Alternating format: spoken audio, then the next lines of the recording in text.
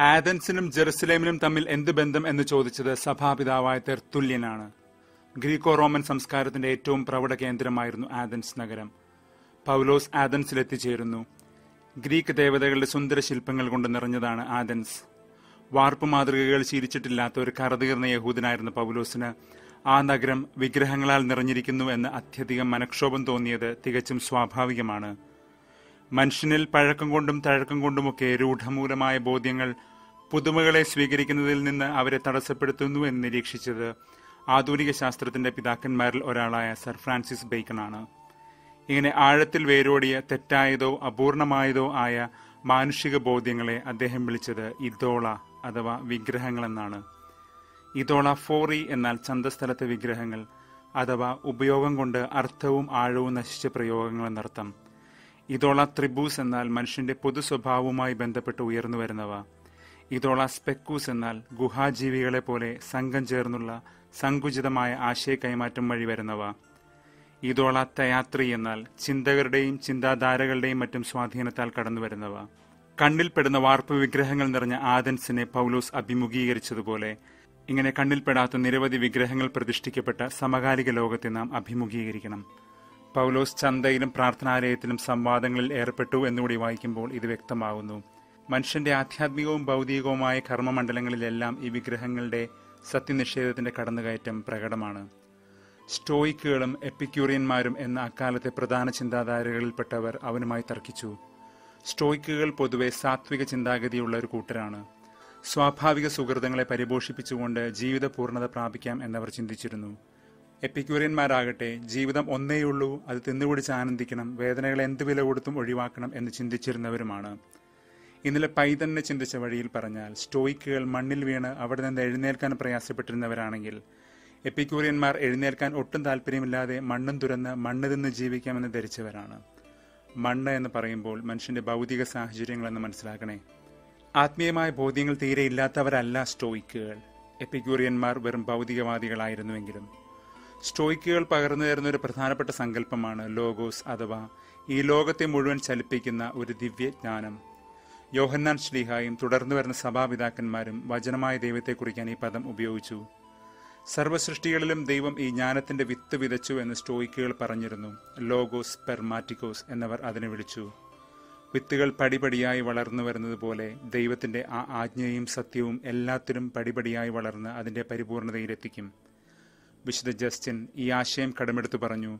എല്ലാ കാലത്തും മനുഷ്യർക്ക് സത്യത്തിന്റെ ചില നേർത്ത പ്രകാശം ലഭിച്ചിരുന്നു. എന്നാൽ പൂർണത ക്രിസ്തുവിലാണ്.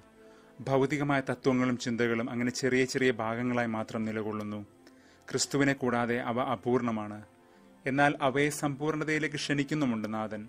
ഇന്ന് സുവിശേഷം പറയും പോലെ ഒറ്റയടിക്ക് പറഞ്ഞാൽ എല്ലാ സത്യവും നിങ്ങൾക്ക് താങ്ങാനാവില്ല. അതുകൊണ്ട് നിങ്ങളെ സത്യവഴിയെ നയിക്കാൻ സത്യാത്മാവിനെ നിങ്ങൾക്ക് ഞാൻ നൽകുന്നു. ദൈവത്തിന്റെ സത്യം തത്വവിചാരങ്ങൾ കൊണ്ട് മാറിമറിയുന്നതല്ല. അവ അന്നും ഇന്നും എന്നും ഒന്ന് തന്നെ. ദൈവാത്മാവിൽ അത് തേടുന്നവൻ തീർച്ചയായും കണ്ടെത്തും. ഈ താർക്കികന്മാർ പൗലോസിന്റെ പുതിയ സിദ്ധാന്തങ്ങൾ കേട്ടിട്ട് അവനെ പരിഹസിച്ചുകൊണ്ട് പറഞ്ഞു കൊത്തിപ്പെറുക്കുന്നവൻ. അവിടുന്നും ഇവിടുന്നും കിട്ടിയ അറിവിന്റെ തുണ്ടുകൾ ചേർത്ത് വെച്ച് വലിയ വർത്തമാനം പറയുന്ന വായാടിത്തത്തെ പോലെ എന്നർത്ഥം. സ്പെർമോ ലോഗോസ് എന്നാണ് ആ വാക്ക്. വിത്തുകൾ കൊത്തിയെടുക്കുന്നവൻ എന്നർത്ഥം. ലോഗോസ് പെർമാറ്റിക്കോസ് എന്ന ദൈവജ്ഞാനത്തിന്റെ വചനവിത്തുകൾ ലോകം മുഴുവൻ ആദ്യം മുതലേ ദൈവം പാകി.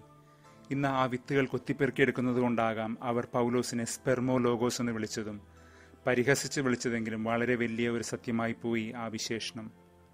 തങ്ങളുടെ ആചാര്യന്മാർ സമ്മേളിച്ചിരുന്ന അരിയോപാഗസ് എന്ന നഗരവേദിയിലേക്ക് ആ താർക്കികന്മാർ പൗലോസിനെ കൂട്ടിക്കൊണ്ടുപോയി വിശദമായ വാഗ്വാദങ്ങൾക്ക്.